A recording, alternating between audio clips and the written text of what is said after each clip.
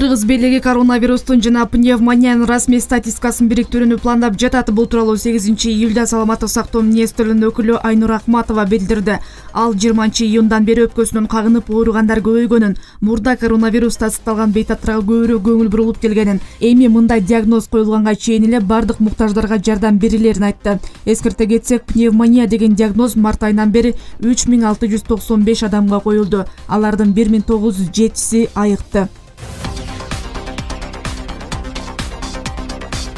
бишкек шаарынын төрт районуна ачылган күндүзгү стационардык борборлорго акыркы эки күндө үч жарым миңден ашуун адам кайрылды. Шаардык мэриянын басма сөз кызматы маалымдагандай бул борборлорго кайрылган адамдардын саны көп болгондуктан ишкерлердин жардамы менен дагы кошумча төрт стационардык түйүн ачылды. Алар шаардагы мектептердин имаратына жайгаштырылды. Бул түйүндөр тогузунчу июлдан тартып саат сегиз ноль нолдон кечки жыйырма ноль нолго чейин бейтаптарды кабыл саламаттык сактоо министрлигинин ковид он тогуздан каза болгондорду жерге берүү боюнча буйругуна ылайык каза болгон адамды атайын автоунаа же катафалк менен алып барып кепиндин сыртына хлорго чыланган кездеме жана клеенка менен ороп диний ишмердин эң жакын туугандарынын жана эпидемиолог дарыгердин көзөмөлүндө жерге бериш керек.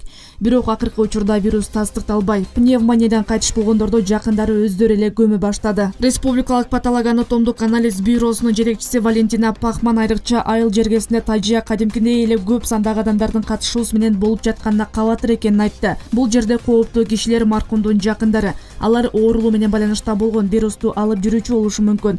Биз моргто сөөктү жууп хлорамин менен тазалап оруп берип жатабыз. Аны үйдөн экинчи ирет ачып жууп кереги жок. Эң эле коркунучтуу учур адамдардын маркум менен коштошобуз деп чогулганы. Андыктан сөөк эмес анын жакындары кооптуу деди пахман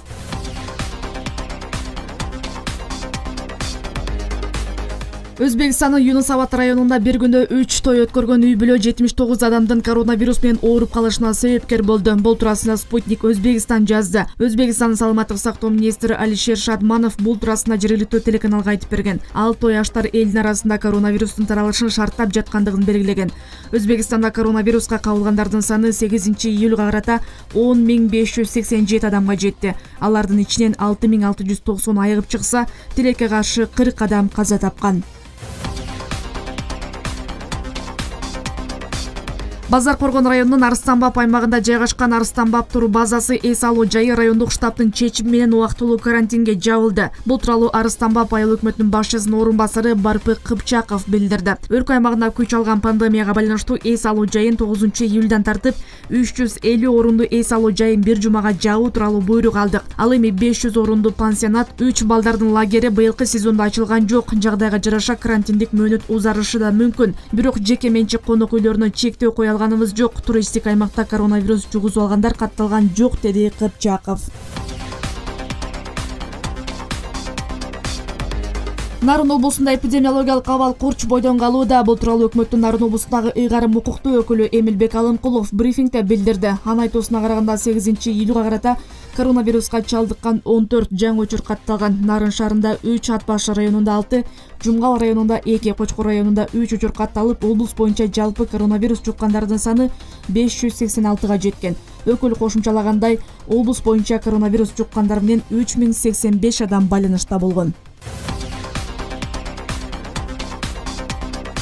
бишкек аймактардан бир жүз алты медицина кызматкери келди. Бул тууралуу бүгүн өкмөт үйүндөгү маалымат жыйынында саламаттык сактоо министрлигинин коомдук саламаттык сактоо башкармалыгынын башчысы айнура акматова билдирди анын айтымында бишкектеги жана чүй облусундагы оор кырдаалга байланыштуу дарыгерлердин жалпы мобилизациясы жарыяланган. Ысык көл облусунан отуз беш талас облусунан жыйырма үч нарын облусунан жыйырма чүй облусунан төрт баткен облусунан беш медицина кызматкери келген. Ошондой эле россиядан жыйырма үч медик келген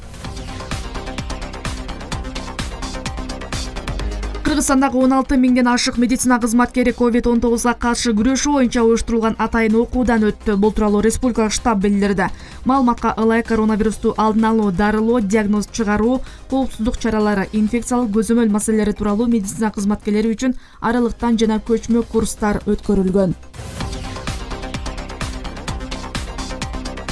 оштогу аймактык бейтапкаларда медициналык адистердин жетишсиздигин чечүүгө жардам берүү максатында түзүлгөн резервдик топко отуз беш дарыгер окутуучу бир жүз жыйырма ординатор он медайым жетимиш медицина факультетинин алтынчы курсунун студенттери кирди. Окуу жайдын басма сөз кызматынан билдиришкендей алар алтынчы июльдан тартып коронавируска каршы күрөш боюнча кесиптик квалификациясын жогорулатуу вебинарынан өтүп жатышат. Мындан сырткары ошмунун беш студенттик жатаканасы коронавируска кабылгандарды дарылоочу стационардык бейтапкана катары кайра түзүлүп учурда беш жүз орун даярдалып. Ал жерде иштегенге окуу жайдан окутуучулар ординаторлор студенттер тартылган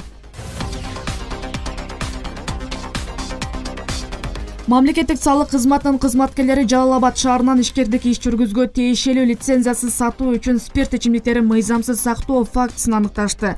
Бул тууралуу ведомствонун басма сөз кызматы маалымдады. Маалыматка ылайык рейдтик иш чаралардын жүрүшүндө күмөндүү акциздик маркалар менен ар кандай идиштердеги жана аталыштардагы эки миллион сомдон ашык суммада алкоголдун элүү миңден ашуун бөтөлкөсү табылып тартып алынган.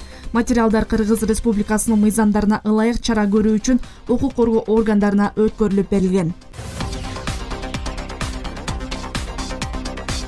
Бишкекке туркиядан үч жүз жыйырма алты кыргызстандык жаш балдары менен келип түштү. Бул туурасында тышкы иштер министрлигинин маалымат кызматы билдирди. Аларды стамбул бишкек стамбул багыты менен turkish airlines компаниясынын чартердик каттам алып келди. Тышкы иштер министрликтин туркиянын эл аралык аба каттамдарын ачышы жана аймагына чет элдиктерди киргизүүгө салынган тыюуну алышынан улам башка өлкөлөрдө жашап жаткан кыргызстандыктардын кайтышына шарт түзүлгөнүн билдирди. Тышкы иштер министрлиги чет жактан кыргызстандыктарды кайтаруу боюнча аракеттер улана турганын белгиледи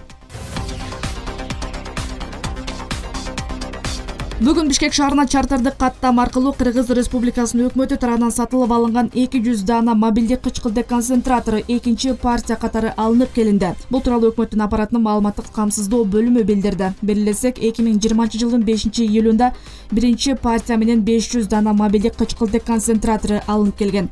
Ал эми калган сегиз жүз даана кычкылдык концентратору жакынкы арада өлкөгө жеткирилмекчи.